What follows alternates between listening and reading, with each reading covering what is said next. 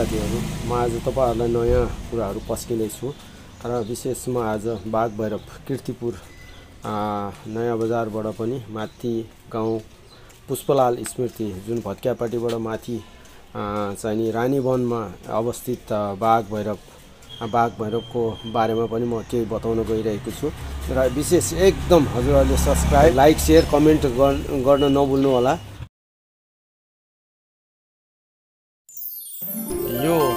बाघ भैरव मन्दिर किर्तिपुरबाट पाँच किलोमिटरभन्दा माथि अलि माथि अवस्थित रहेको छ। यो बाघ भैरव कसरी उत्पन्न भयो भन्ने कुराहरूमा थोरै जानकारी म दर्शकहरूलाई दिन चाहन्छु। र यो बाघ भैरव मन्दिर जब आजभन्दा हजारौँ वर्ष अगाडि परापूर्व कालमा जब यहाँ सानो गाउँ एउटा थियो त्यो गाउँका मानिसहरू बाख्राहरू चलाएर चराइराखेका थिए ती बच्चाहरूले। खेल्दै खेल्दै एउटा बाघको ठुलो विशाल मूर्ति माटाको बनाए। तब बनाएपछि जिब्रो हाल्नु पर्यो भनेर तिनीहरू सालको पात ठुलो पात लिन जङ्गलतिर पसे।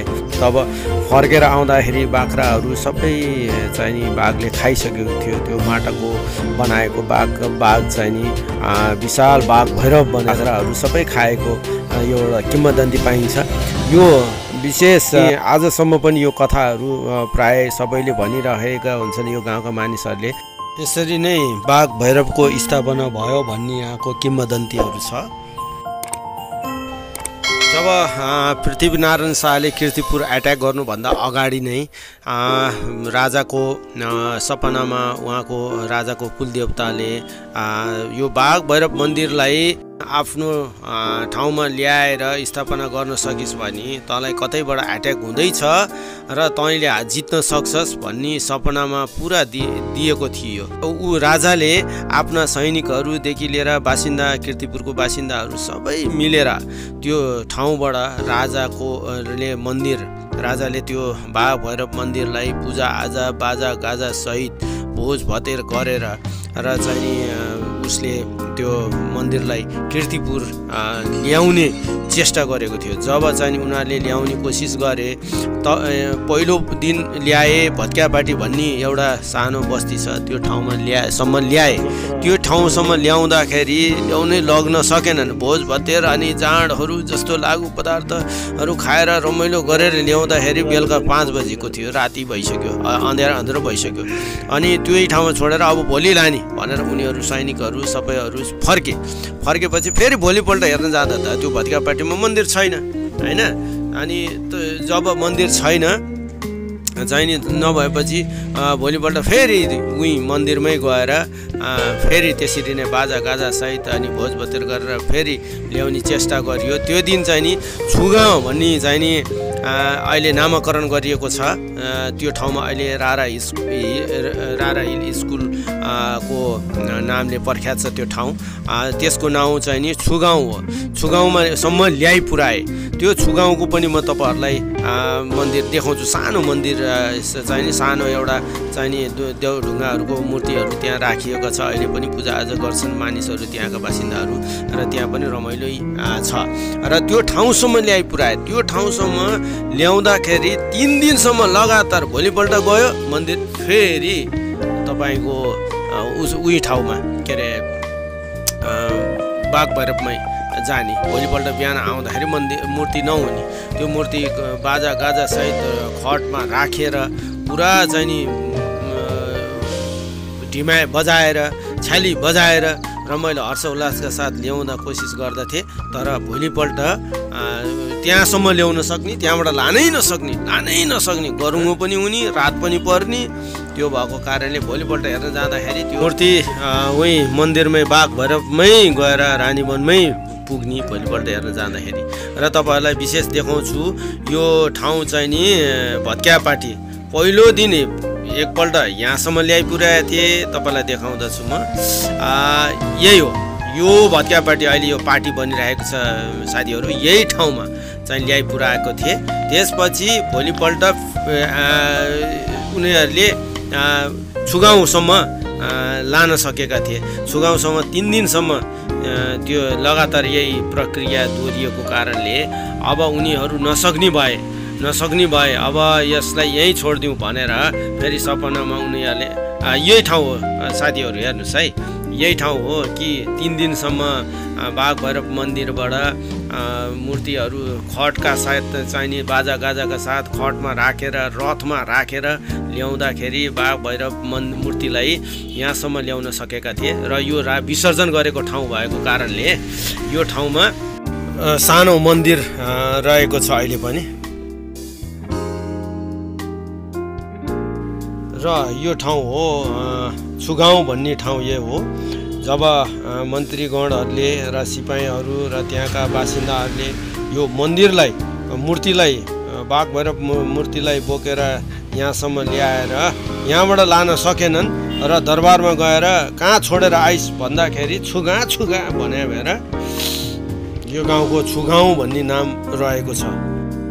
अब साथीहरू यो किर्तिपुरको भित्री बस्तीभित्रको गल्ली गल्लीबाट म तपाईँहरूलाई यो ठाउँको दृश्य अवलोकन गराउँदछु दृश्यहरूलाई खिचेर तपाईँ माझ ल्याएको छु। यति गल्ली गल्लीहरू छन् कि यो बाटो यहीँको मानिसहरूलाई पनि यो गल्ली पहि- पहिचान गर्न हम्मे हम्मे पर्छ कोही कोहीलाई त। र म बाघ भैरव मन्दिरनिर आइपुग्न लागेको छु र बाघ भैरवको परिसरभित्र चाहिँ नि म आइपुगिसकेँ। र यति सुन्दर र यति रमाइलो छ र धेरै हाइटमा अवस्थित छ यो बाघ भैरव राजाको मन्दिर दरबार स्क्वायर भन्दा पनि हुन्छ यसलाई।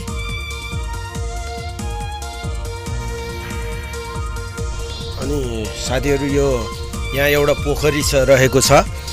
यो दरबार स्क्वायरको आताभित्र अ, चाहिँ यो एउटा पोखरी रहेको छ। यो ऐतिहासिक पोखरी जुन राजा महाराजाहरूले यहाँ स्विमिङ गर्ने पौडी खेल्ने पोखरी थियो र यसलाई अझ सुन्दर तरिकाले नयाँ निर्माण गरिकन यसलाई अझ सुन्दर बनाउनु भएको छ यहाँका बासिन्दाहरूले र यसलाई संरक्षण गर्नुभएको छ यो ऐति- ऐतिहासिक पोखरी हो।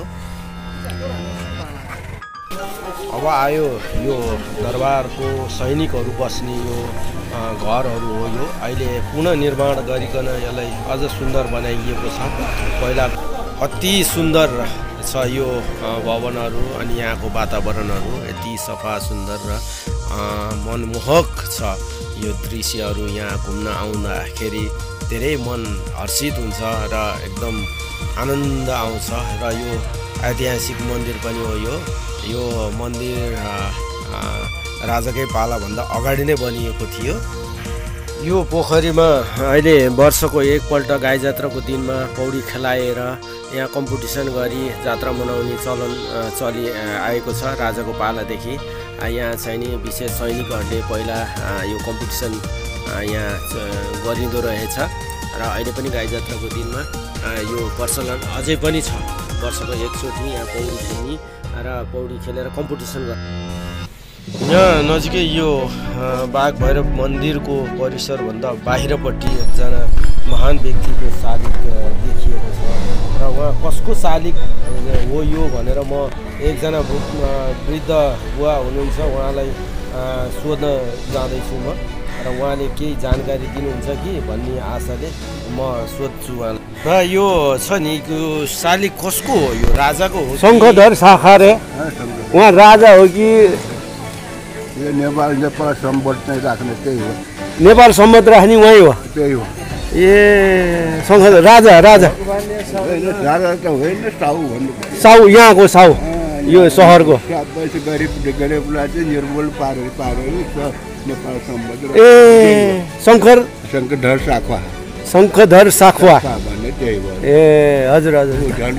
चाहिँ समाजिरहेको हो ए धनको पोका समात्या थियो र साथीहरू आज नयाँ कुरा सुन्न पाइयो नेपाल सम्बत राख्ने महान व्यक्ति यहाँ किर्तिपुरको हुनुहुँदो रहेछ र शङ्खधर साखुवा भन्ने उहाँको नाम रहेको छ र उहाँ विशेष नेपालको गरिबी नै निर्मूल गर्ने उहाँको उद्देश्य रहेको रहेछ।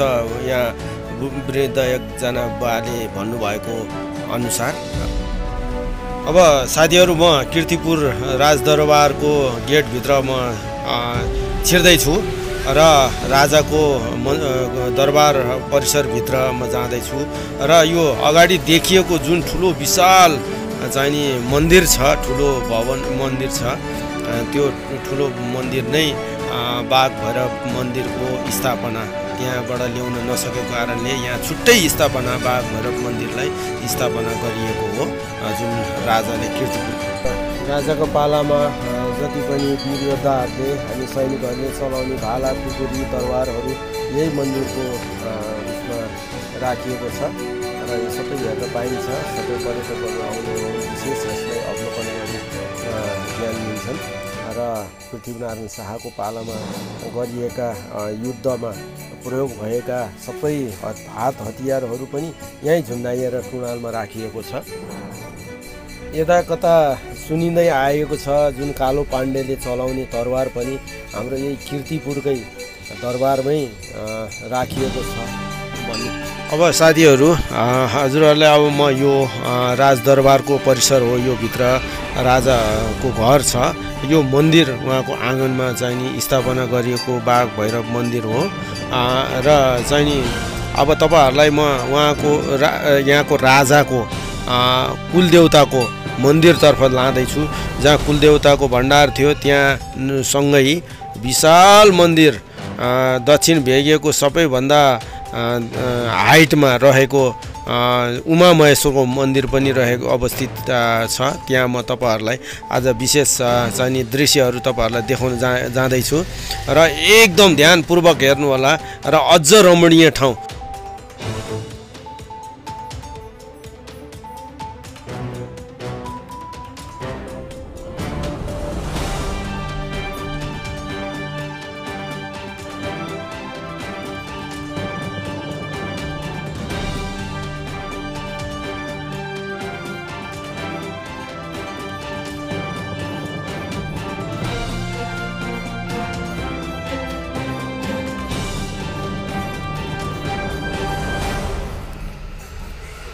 यो चाहिँ नि पूर्व ढोका रहेको छ।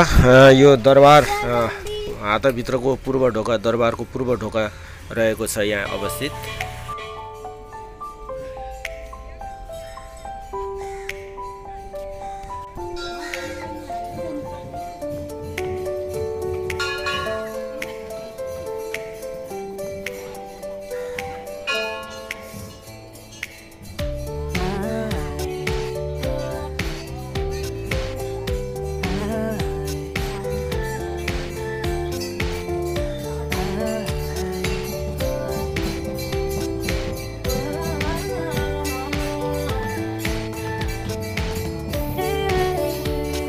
यो चाहिँ राजाको दरबार हो। र यो दरबार हो यो चाहिँ जुन देखिएको दृश्य। अनि यो मन्दिर बाघ भैरवको स्थापना गरेको मन्दिर हो। ओरिजिनल मन्दिर बाघ भैरवको चाहिँ जहाँ किर्तिपुरको मातृ डाँडा पुष्पलाल स्मृतिसँगै अब अब साथीहरूलाई म अब उमा महेश्वरको मन्दिर यहाँ छेउमै रहेको छ।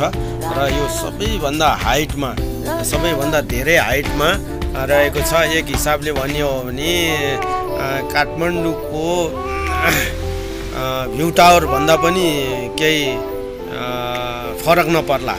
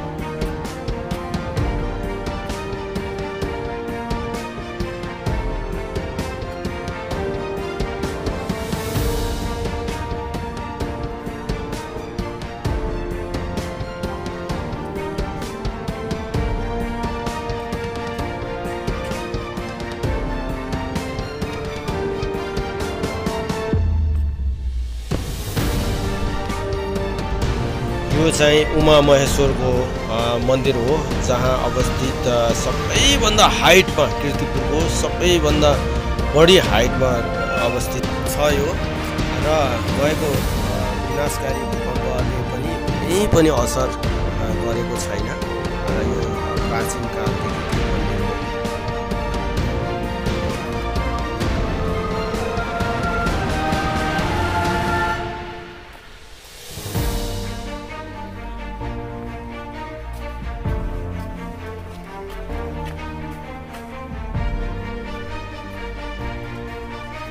साथीहरू यो मन्दिर सधैँ नै यस्तै शान्त रहिरहेको छ। यहाँ कोही आवत त धेरै गर्दैनन् र हेर्दै डरलाग्दो छ।